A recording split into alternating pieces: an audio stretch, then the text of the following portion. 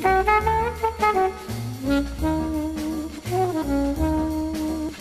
afternoon and welcome to this week's edition of Full Court Press, a weekly online interview series where we delve a little bit deeper into the current state of affairs in the hydrogen sector and the full court press being the full effort of all of the stakeholders to get this industry up and running and get what has been historically a huge opportunity to finally make its way to reality. And as we come to the end of the half year, it's a great opportunity to check in with one of the leading voices in the Middle East hydrogen sector, Cornelius Matthes, CEO of DII Desert Energy. Good morning, Cornelius, and thank you for joining us.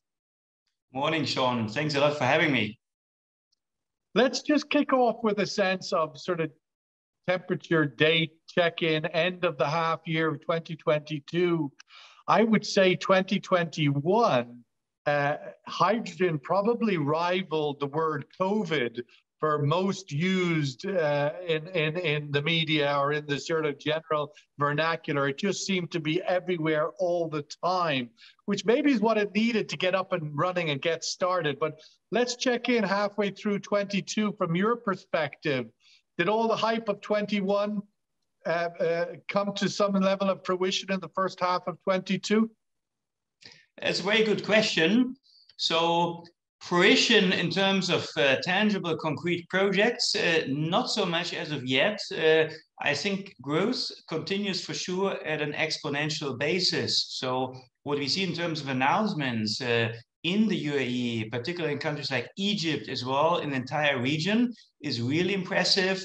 Uh, as uh, Dii and the MENA Hydrogen Alliance, we launched a so-called project tracker last month, uh, and we identified almost 50 projects. Uh, this we did in cooperation with uh, Roland Berger, and 50 projects here, concrete announced projects, is pretty impressive. Um, I think also the UAE is moving fast. Uh, actually, this week, a high-level delegation is in Germany talking on partnerships there. So I think this shows progress. Uh, uh, the fact that uh, the Department of Energy is, is currently conducting a project to get uh, the framework right for uh, a local hydrogen economy as well. And now the grand hydrogen strategy of the EE uh, is being tendered as a project. So I think this is this is all really exciting. And uh, uh, internationally, there has been significant progress. Uh, the energy crisis in Europe uh, has led to a massive acceleration. So the two times 40 gigawatt initiative we submitted to the EU Commission uh, two and a half years ago, together with Hydrogen Europe, uh, has been effectively quadrupled to a two times 160 gigawatt initiative. And the official objectives now by Europe are to produce 10 million tons uh, by 2030 domestically and 10 million tons imported. And obviously, uh, the, the obvious choice here is uh, the region, just uh, for the proximity to Europe, for the extreme low cost uh, renewable produced hydrogen. So I think uh, in this context, also with the geopolitical events, we see a massive uh, acceleration. And uh, the big challenge is obviously now to come to concrete action and really to execute from all these announcements. Yeah, we, we, that's we'll get to the, the inevitable accelerator that these, uh, the particularly geopolitical events may be. I first want to just touch on, again, coming back to our analogy of the full court press, i.e., all the players on the pitch working together to, to, to advance the objective. What player on the pitch are we missing, or where are the strength players and what are the weak players in this full court press? I mean, one of the big objectives I know from Middle East producers is they want a guaranteed off taker. That player doesn't seem to be on the field yet. Where's the weakness in the full court press in terms of players that are absent? The weakness, uh, Sean, is clearly on the policy side. So while EU Commission countries like Germany, they have ambitious strategies and very ambitious objectives, uh, the um, challenges on execution, and this is precisely in uh, a legal regulatory framework, including topics like certification, you know, a well-coordinated international certification scheme is really uh, the prerequisite to create uh, a market for, for tradable hydrogen, which is not there today. Uh, second aspect, uh, again, by government's infrastructure for transporting storage. So I think these two things are the big ask to governments now, and governments need to move in this direction. The off-takers, they're generally there, particularly in Europe, but also in Japan, for example. Uh, there have been quite a few deals now as well. So the off-taker, I think, will move once uh, there is clarity on certain things, again, on uh, the regulatory side. But the off-takers, in my view, they're generally lined up. Just on that point, we started out with uh, the analogy again that 2021 was a lot of hype in, in hydrogen, but I think the, in, in, in, a, in a relative sense, hype that was aligned with the great energy transition and the critical nature of that with COP26 in uh, Glasgow and the massive commitments that were made to net zero coming out of COP26. Uh, but now in the 2022, uh, halfway to the COP27, it seems we've got into a bit of a battle between energy security and the great energy transition, mainly on the back of the drama of the Russia's war in Ukraine, that the energy security has come back into being such a big political priority. I'm wondering what impact that has had on the momentum of 2021 as as as hydrocarbons and, and the the oil and gas energy uh, space comes way back to the fore.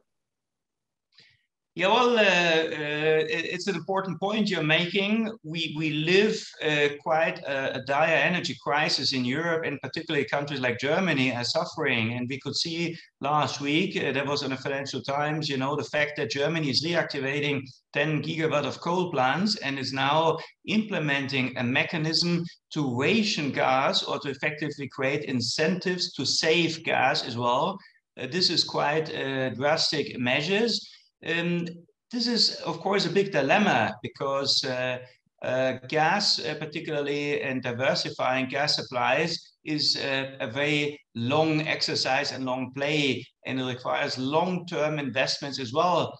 But uh, who's uh, who wants to do long-term investments when at the same time you jeopardize your own objectives with the Green Deal and your own net zero? So this is a big dilemma, and I think there is obviously tactical um, things, tactical moves, uh, and then midterm, long term. But I think it clearly goes, and also the high energy prices currently, they obviously accelerate uh, for pure economic reasons, investments in renewables, investments in green hydrogen massively. And let me give you one example uh, gray hydrogen has all of a sudden become more expensive than green hydrogen.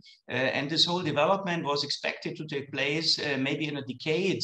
And now, in a matter of months, uh, for the explosion in gas prices, uh, only gas and you know production uh, basically um, of gray hydrogen by gas is more expensive than green in Europe currently. And this is a, a complete paradox, and it shows us the dramatic changes.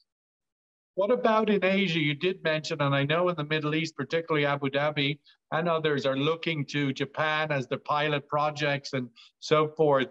Uh, what is the outlook, the momentum from 2021 into 2022 from Asia? And particularly, I know in the Emirates, they're very, very keen, and not only keen, but have sort of put it as a real must have a ta- off taker in Japan or in Asia before they really uh, move from pilot up to full scale. Uh, yeah, that's that's an important point indeed. Well, today the clients of uh, the, Middle East and also the UAE, they are mainly in Asia for for oil, uh, for gas, uh, whatever. And this is uh, Japan, South Korea, Uh, and a few others. And uh, indeed, there has been uh, blue ammonia shipments, for example. Particularly the Japanese, they have keen objectives in using ammonia, for example, in coal plants for up to 20% to reduce uh, CO2 emissions. And uh, Japan is obviously a huge LNG importer and will import huge amounts of green molecules in the future of emission free or low emission molecules. So in this sense, I think uh, these partnerships are in place and there are obviously a lot of synergies for the existing client relationships. Uh, it will remain an important topic. The big question mark is how uh, the gravity will potentially shift from east to west because Europe now in uh, you know this energy crisis has huge need and it's a huge opportunity as well. I was with uh, the head of the German uh, Hydrogen Commission of the German government uh, and uh, Sultan Al Jaber, the CEO of ADNOC, just two months ago, and that was an eye opener on you know how uh, the CEO, views uh, here the opportunity for the UAE uh, to look from east uh, to west and also you know to embrace for Europe these uh, uh really historic opportunities to form big partnerships um, uh, between Europe and uh, the Middle East. So I think this is for sure a thing to be watched how gravity will shift from is east to west. Sorry, is that partnership east and west, sorry, Middle East and Europe principally a green hydrogen partnership? Well, the difference between Japan and uh, South Korea is that they don't have a problem with blue uh, or it's anyway, we're over the colors. Europe has higher requirements uh, due to the Green Deal and, uh, you know, many other things uh, in terms of uh, a very low CO2 or emission content of, of any sort of molecules it will import. So the bar, let's say, for Europe is definitely higher on that point, I mean, looking at the, again the sort of analogy of 2021 into 2022, the, all of the hype of last year, and you said you did, you started your project tracker. Uh, I think you said we did 100 projects. Um, that the the question was last year, and again I ask you this year: Is first mover advantage a critical point here, and hence the Middle East are sort of aggressively moving? I mean, it's hard to identify where the sort of real unique selling point for the Gulf is, what's their added value that they can really grab. But uh, is first mover advantage in hydrogen really going to be the determining factor? Your thoughts on that and how it's changed in 22? Uh, my personal view is it is. Uh, we, we are facing, of course, a dilemma like uh, renewables 10, 20 years ago when uh, companies were hesitant to invest because uh, clearly it was expected that the price drops dramatically. Now, the difference for hydrogen is that this uh, will become a market, as John Kerry says, the largest market we've ever seen, or Goldman Sachs, Bank of America, you know, they're talking about 10 trillion plus market. And we've looked into this. Uh, so uh, hydrogen can be even for GCC, uh, you know, something which could long-term rival revenues of oil and gas sales, and more importantly, up to a million jobs. That's a study we published last year. So I think at this point of time, the opportunity is being a first mover setting uh, the parameters, uh, both uh, technologically, but more important from a market development perspective, on topics such as certification to develop the market, to, to set the framework, to jointly develop this, which is not here today. And whoever comes later, you know, just follows. Uh, but uh, the ones moving now. Standards, where would those standards be set? I mean, if you take the first mover advantage approach in the Middle East, clearly is is pushing hard. With Saudi, Oman, the UAE, Egypt. You mentioned. Who is the the responsibility, as you advocated articulated earlier? The missing player on the full court press is the regulate the regulatory uh, framework, the standards, the certifications. Where is who's the source of that? Who's the is it the European Union? Is it the customer? Is it the producer? Where do you want to see that what is a shortcoming at the moment where does that regulatory framework, where should it emerge from? Well, it takes uh, mainly place in Europe, uh, and uh, this is uh, um, called uh, the Delegated Act, uh, which has been in public consultation phase. uh, until uh, two weeks ago. And indeed, we, uh, with the MENA Hydrogen Alliance, you know, we gathered a lot of uh, uh, input, ideas, uh, thoughts, wishes from project outside Europe, and we submitted this all to the European Commission. So all these requirements are set here, and you know, the early movers, they have the chance to influence this, and then Obviously, some are being set regionally as well, but the big challenge is not certification per se or uh, any other aspects to create this tradable market. The big challenge is coordination to have an as much uh, coordinated scheme as possible because this will make life easier for everybody and then of course uh, a pragmatic point of view for execution as well. Uh, and uh, let me also mention that India, for example, is a good is, is a good uh, case in developing, you know, a pragmatic, uh, developer-friendly scheme, uh, you know, to, to fast-track projects. Just to conclude, uh, Cornelius, with an outlook for that, we talked obviously about the first half of the year. It is the end of June. What about the second half of the year, the immediate sort of H2 coming in the next six months. Uh, a big moment in that, of course, will be COP27 coming to Egypt, first country in Africa to host COP. Uh, how big a milestone is that? What does it mean, or what will you look for the second half of this year to mo more meat on the bone of all this hype? Uh, well, I'm just coming from Morocco. I was uh, speaking at the opening of the Power to X Summit last week, very high level uh, with uh, the Moroccan minister, German minister, and many, many others. So Morocco is for sure picking up some speed again uh, while being an early mover. Not so much uh, has happened, but uh, I think you're mentioning COP27. This is for sure the big uh, event now everybody's working towards. You can see a long list of announcements, initiatives uh, uh, in Egypt.